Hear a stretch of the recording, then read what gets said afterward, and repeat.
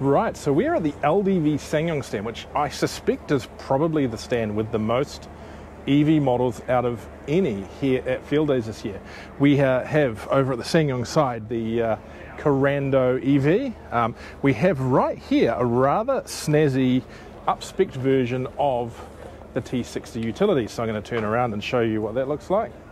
That package there includes some flash new seats, that uh, pretty cool ET60 bar, some locally done leather seats and steering wheel.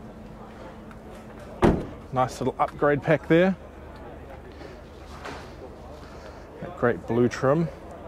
We have got, of course, the usual eDeliver 3 van. It's a very cool unit. The MIFA 9, and I highly encourage you to go and watch our video on that on the YouTube channel.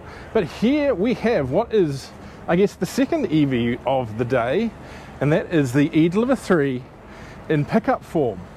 So this is an eDeliver cab chassis, and then on the back of it they have a tray by Coolbox. Now look at the size of that thing. For work, that is just going to be crazy, and I suspect for some farmers, little bit of town and country tyres on it, and you'll be able to go a long way. We have the eDeliver 9 here. Um, that's an eDeliver minibus, which I believe you can get an e-electric version of now too. And down the back here, we have near this big noisy generator, eDeliver 9s with big box bodies on them. And I believe they can do these refrigerated as well. Again, by Coolbox. They're a Kiwi company. So just showing that electric vehicles, they definitely can be made very much ready for work uh, here.